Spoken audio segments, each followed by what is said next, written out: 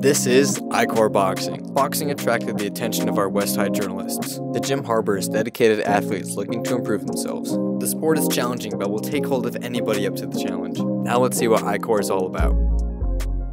Cliff Johnson Jr. and uh, ICOR Boxing is my business.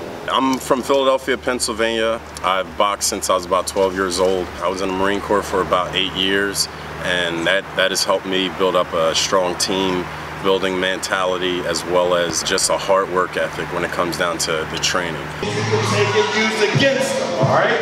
If you can put them off balance, put them on their butt. That's what we want to do. That is the name of the game.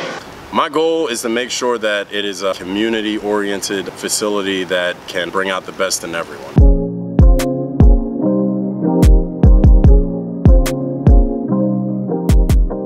Many boxers have been with ICOR for years. Here's what they have to say.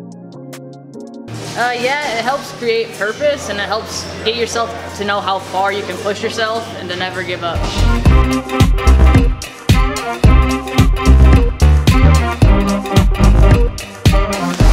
It's really kind of a soul thing, mentality-wise, but together we're a family. Even if you don't necessarily want to fight people, you could it's like feeling good about yourself, knowing that you honed your body like that. It's like taking your body to another level.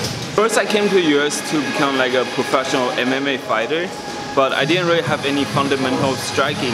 And coming to ICOR for boxing really helped me for my striking basics. Being able to learn something and work out at the same time is a lot more fun.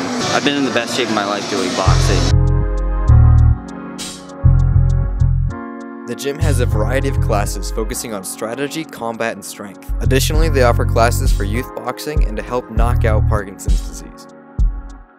I feel like you can help everybody out no matter whether you have Parkinson's disease or if you are just a beginner just starting off.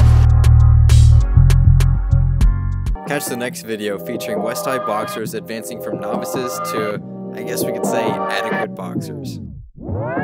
Heat in my vein like vernacular. Up the beat with a spatula. Y'all are not ready for action. I'm smoking these rappers and feeling spectacular.